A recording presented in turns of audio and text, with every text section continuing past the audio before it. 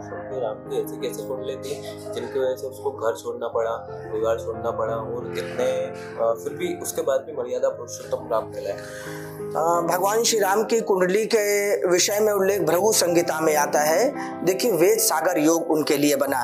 और वेद सागर योग जिस मनुष्य के लिए बनता है तो ये कहा जाता है कि पूर्व जन्म में वे वो कोई पर ब्रह्म परात्पर ब्रह्म ही रहे, जो बिना पैरों के चलते हैं, जो बिना हाथों के काम करते हैं, जो बिना कानों के सुनते हैं, जो बिना मुँह के बोलते हैं, ऐसे अजन्मे ब्रह्म ही अगर मनुष्य के रूप में आए तो वेद सागर योग उनका बनता है। तो भगवान श्री राम का वेद सागर योग बना तो इससे ये बात तो समझ में आ गई कि वो सच्चिदानंद रूप थे, अपनी लीला करने आए थे।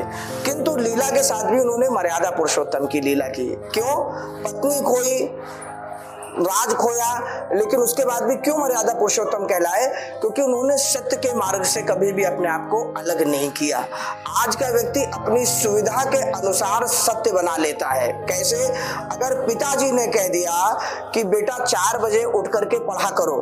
तो वो चार बजे उठ करके पढ़ना कठिन है। वो हम नहीं कर पाएँगे। लेकिन अगर पिताजी कहते हैं, अरे, पढ़ने लिखने में क्या रखा है? मौज करो बेटा, तुम बिज़नेस संभाल लेना।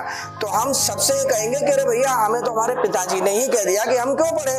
तो अब हमें, हम तो मौज करेंगे। तो पिताजी अगर चार बजे कह देंगे तो आप नहीं उठेंगे और मौज करने को कह देंगे तो आप मौज करेंगे। ठीक उसी प्रकार जब राजा जी ने कहा कि चौदह वर्ष का वनवास आपको है राम जी वनवास को चले गए। उन्हीं राजा जी ने संदेशा भेजा कि चार दिन घूम करके श्रृंगवीरपुर से वापस आ जाओ, लेकिन राम जी नहीं आए, क्योंकि ये दूसरी आज्ञा सत्य का पालन नहीं थी।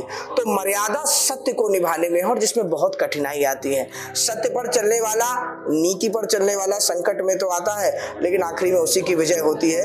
यही कारण था कि राम जी ने कोई भी ऐसा अनैतिक कार्य अपने जीवन में नहीं किया। किसी विभीषण का भी बड़ा भला किया, मंदोदरी का भी भला किया।